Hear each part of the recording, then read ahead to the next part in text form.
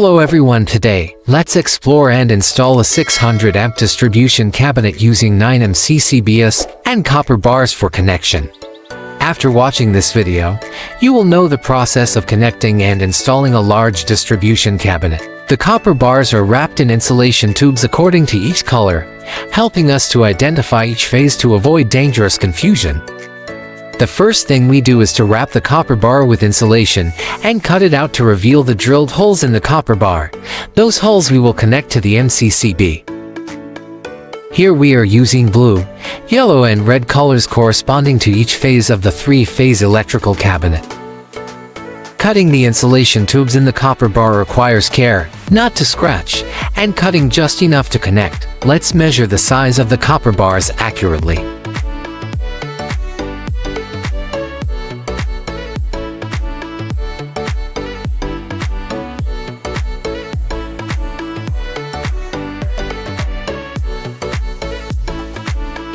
Then the copper bars will be connected to each MCCB in the order red, blue, red from right to left.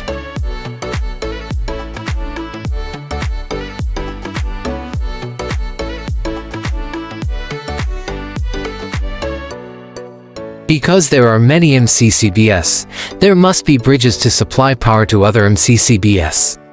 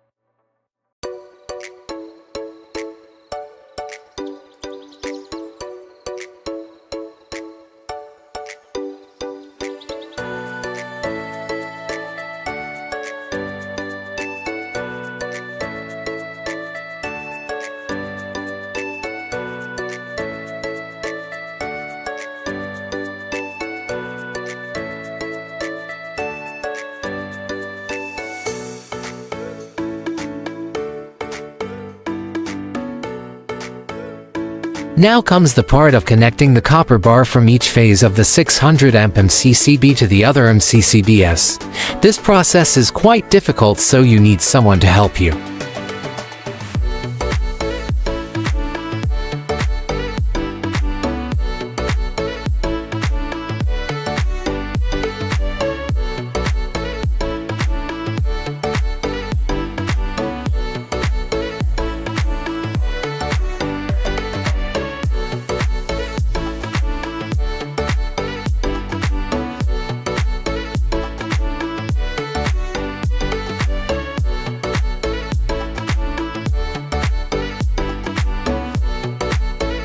Copper bars when connected together require extremely tight screws to ensure safety and to prevent the copper bars from shifting, and if not securely connected, the load level will generate a very dangerous arc.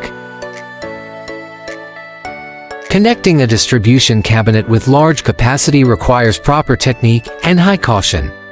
Let's create sustainable trust for customers when using our electrical cabinets.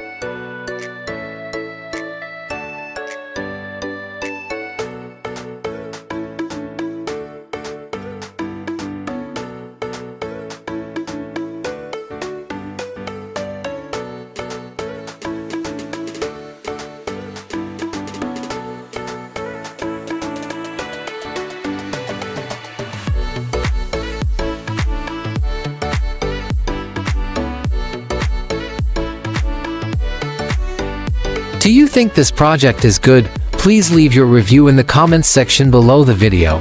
Thank you all for watching the video.